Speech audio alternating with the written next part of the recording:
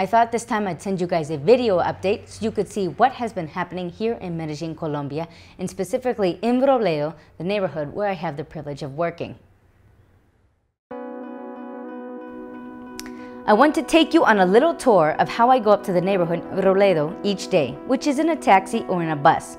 Hey kids, if you see the red numbers in the taxi that keep going up, that's how much the cost of the taxi is, which is in Colombian pesos, the currency we have here.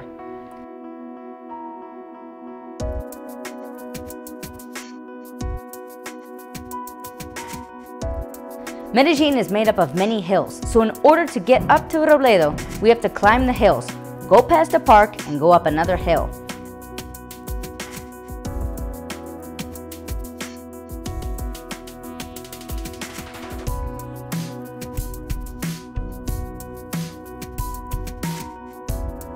This view is from our third floor space that we rent for the church where we have youth group, children's church, and recently we just started our first college class, which is very exciting.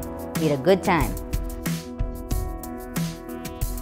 Down below on the first floor, we have Kids Club on Saturdays and regular church on Sunday mornings. Currently in Kids Club, we are studying the life of Jesus and many have never heard of these stories or they know of some other version of the story which isn't always exactly true to what the Bible says. Sundays are going well, although we always seem to fluctuate in number and some make excuses for not coming. Please pray that the people would see their need to be in fellowship with others and praise the Lord in song and study His Word together. Please pray for Peter as he recently started a new series in the book of Colossians. Many people here have questions about the deity of Christ and don't believe in the Trinity, so pray that God will use this series to get rid of those doubts and people will seek out the triune God. Bible studies throughout the week have been going well for the most part. It has been a joy to watch kids grow, and one of them just accepted Christ last week. Because of the poor education system here and lack of parental help, some kids can't read, so they feel embarrassed and don't feel like they can participate in study. But pray that they would be able to learn to read, but most importantly, that the inability to read wouldn't stop them from wanting to know more about God. Despite all these awesome things, these past few months have been hard as well.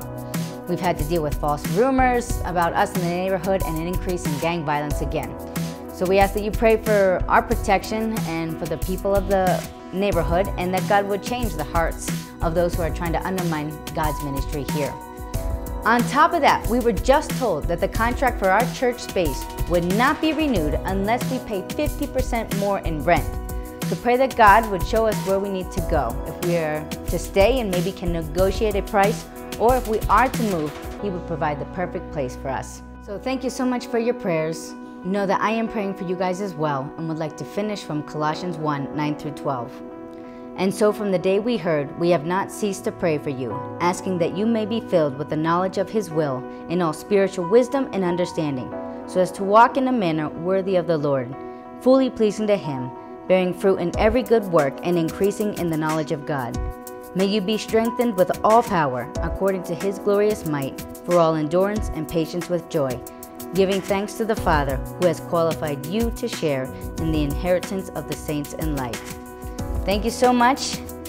And Max and I are very, very appreciative of your prayers, your love, and support, and we send it back to you guys. Thanks.